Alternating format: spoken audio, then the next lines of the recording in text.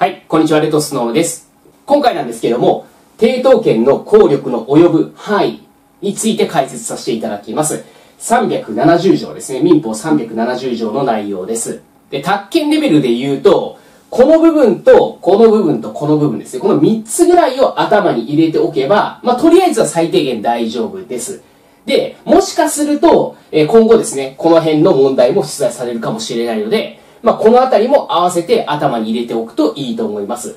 で、この最後のこの部分ですね。この部分は宅建レベルでは出てこないかなといった感じです。出てきたとしても、まあ、解けなくても大丈夫でしょう。といった内容です。まあ、それを踏まえてですね、えー、解説していきたいと思います。で、そもそも、この抵当権の効力が及ぶって、これどういうことかというところをまず押さえておきましょう。まずイメージとしては、債権者が例えば、えー、あなたにお金を貸しましたと。私が債権者で、私があなたにお金を貸して、あなたが所有する、例えば建物に抵当権を設定しました。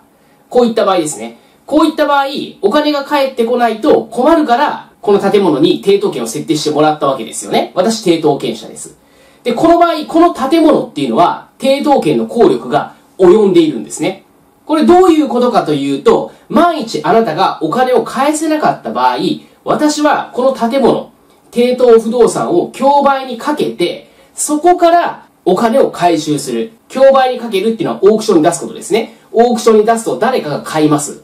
競り落とすわけですよね。で、競り落とした人がお金を払うわけです。その払ったお金から私はお金を回収する。いわゆる債権回収をするわけですね。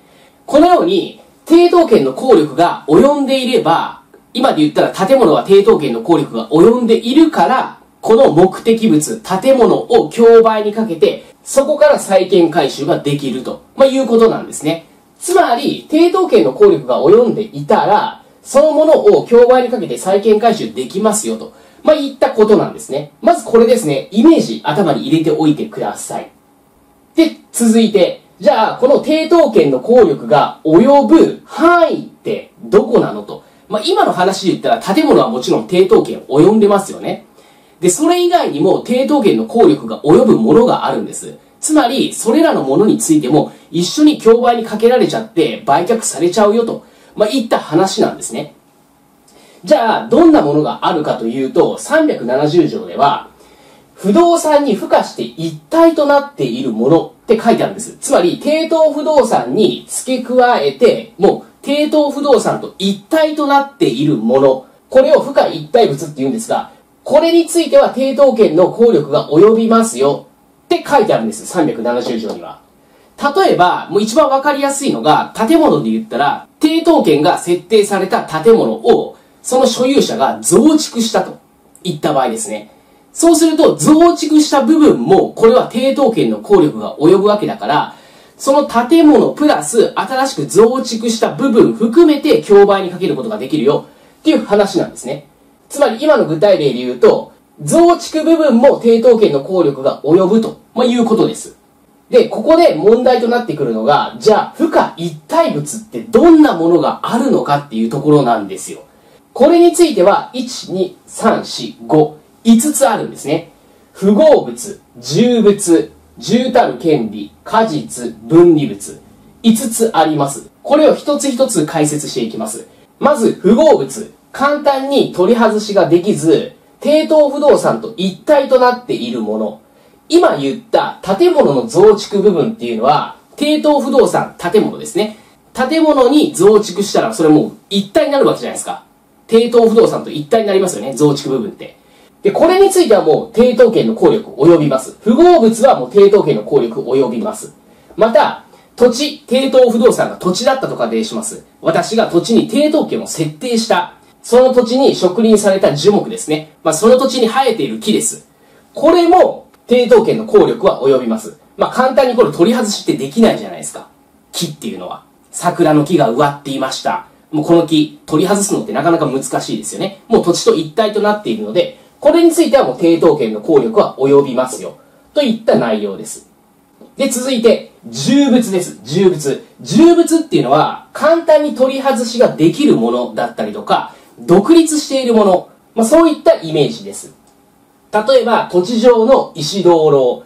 土地に抵当権を設定した場合、その土地にある石道路、この石道路ってね、えー、わかる人はわかるんですけども、わからない人はちょっとネットで調べてみてください。画像検索すると、石道路がどんなものかっていうのは、えー、すぐわかると思います。まあ、石で作られた、まあ、灯籠なんですけれども、お寺とか神社とかにあるイメージですかね。まあ、こういったものは重物ですね。あと取り外しができる庭石。まあ、庭にある石ですね。これも重物に当たります。で、ここがちょっとわかりづらいんですけども、ガソリンスタンドの建物にある地下タンクだったりとか、あと洗車機です。これについてはもう独立していると考えて、これ重物に当たると。もうこれ覚えちゃって大丈夫です。で、これらの重物っていうのはどういった場合に抵当権の効力が及ぶかっていうと、これは抵当権を設定した時に重物として存在していたと。まあ、抵当権設定してた時に、それがあった。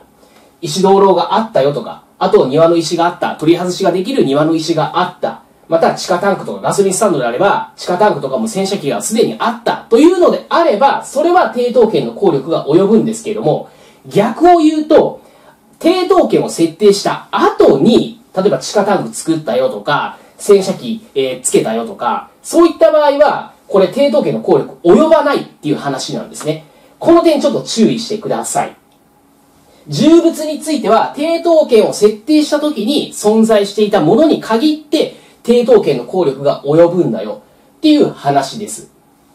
で、続いて、重たる権利ですね。重たる権利っていうのは、例えば、建物に抵当権を設定して、その建物に敷地利用権がくっついていたといった場合です。